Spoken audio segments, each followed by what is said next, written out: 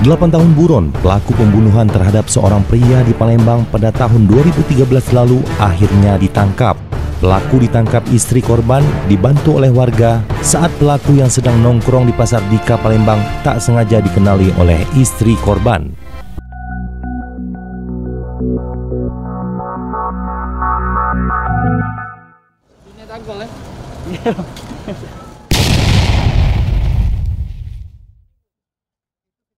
Usai sudah pelarian Ali 46 tahun, pelaku pembunuhan terhadap seorang pria bernama Denny Triono 32 tahun pada tahun 2013 silam.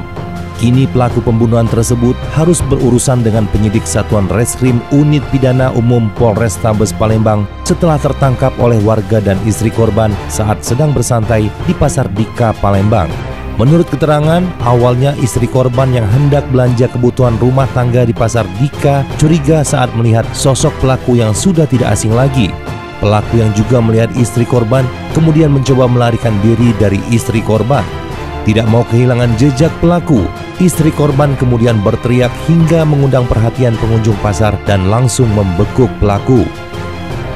Usai dibekuk, pelaku kemudian langsung dibawa warga ke Mapolres Tabes Palembang untuk mempertanggungjawabkan perbuatannya.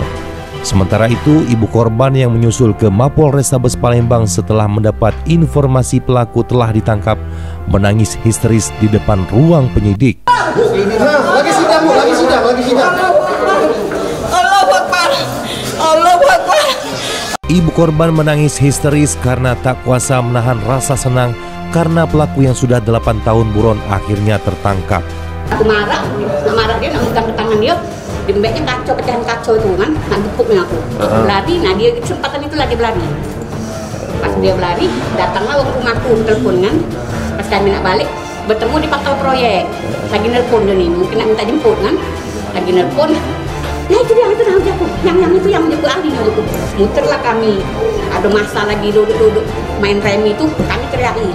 Tak tolong tak tangkap, tak pembunuh, itu pembunuh. Masa nangkapnya. Masa Iya. Bu itu kejadian bunuh laki Bu tahun berapa?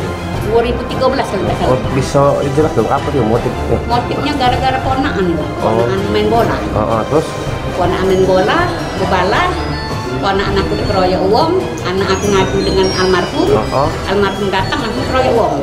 Kronologisnya setahu aku itu kan. oh, oh, oh dikeroyok pelaku ini Bu ya? Mm-mm. Pelakunya mau berapa Bu? Lakunya rame dia nih, masalahnya di situ kan kampung dia gitu. Oh, ini baru sih kok tertangkap. Iya. Sebelumnya aksi pembunuhan yang dilakukan pelaku terjadi di Jalan Majapahit 6, Kelurahan Tuan Kentang, Kecamatan Seberang Ulu 1 Palembang pada tahun 2013 lalu, di mana pelaku bersama teman-temannya mengeroyok korban hingga tewas. Dari Palembang, Sumatera Selatan, reporter Andy Ruskan, kameramen Muhammad Rian, Palembang Baru TV mengabarkan.